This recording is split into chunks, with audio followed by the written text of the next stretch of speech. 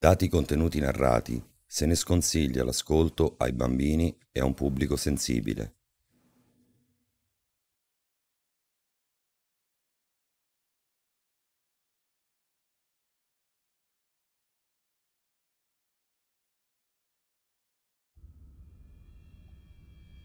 Il mistero dei bambini. Di Rebiribo 00 Capitolo 5 Vidi mia figlia sospesa in aria. I suoi occhi rossi come il sangue si scontrarono con i miei color nocciola. Mi sigillò il sangue. Mi avvicinai lentamente in modo da evitare qualsiasi tipo di inconveniente. All'improvviso cadde, ma fortunatamente la presi al volo, evitando incidenti più grandi, come una commozione cerebrale o peggio. Gli occhi lentamente iniziarono a tornare al colore originale. La pelle da rossastra divenne rosea. La portai nuovamente nella stanza e la misi a letto sotto le coperte, visto che sembrava un cubetto di ghiaccio. Accidenti. Svegliai mia moglie e gli raccontai tutto quanto, dalla A alla Z. Ma che ti sei bevuto? Ehi, non dirmi che non mi credi. Non è che non ti credo, è che tutto è così Strano. Quindi non mi credi, giusto? Amore, non prenderla male. Senti, è successa veramente questa cosa. Se non mi credi, arrangiati. Quando lo vedrai con i tuoi occhi, mi darai ragione. Dai, buonanotte. Andai verso la camera di mia figlia per vedere se stesse dormendo, ma la sentii parlare con qualcuno. Così, con sguardo beffardo, decisi di origliare da dietro la porta. Madonna, ne ho le palle piene di tutta questa faccenda.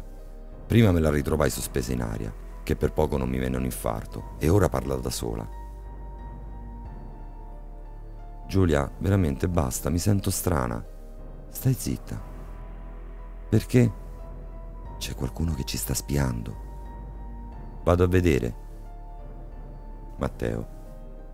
Ad un certo punto sentì dei passi venire verso di me. All'improvviso si aprì la porta e mia figlia iniziò a guardarmi incredula, come se fossi l'incarnazione di un fantasma, per poi tornare a guardare dietro di lei.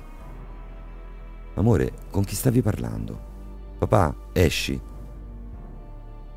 Dimmi con chi stavi parlando. No, tanto non mi credi. Ora ho sonno. Ciao e buonanotte. Mi chiuse la porta in faccia, ma poi sentì una voce che disse Hai fatto bene, Sara.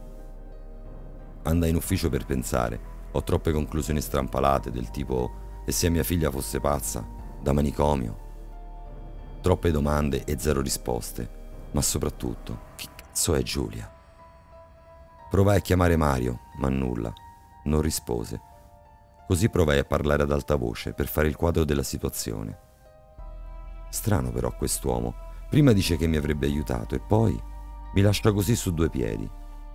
Ammetto di essermi incazzato con lui, ma nessuno mi crede. Accidenti, non so più cosa fare. Dovrò cavarmela da solo. Neanche Marta mi crede. Forse anche io non ci credo. Non è una cosa da tutti i giorni vedere la propria figlia sospesa in aria. Non so da dove partire. Però di una cosa sono certo. Questa Giulia c'entra qualcosa con tutto questo.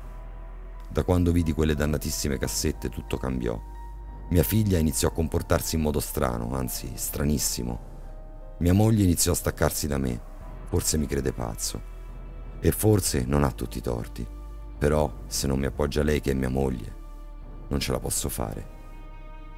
Andai in camera, presi una pillola di calmante e mi addormentai profondamente.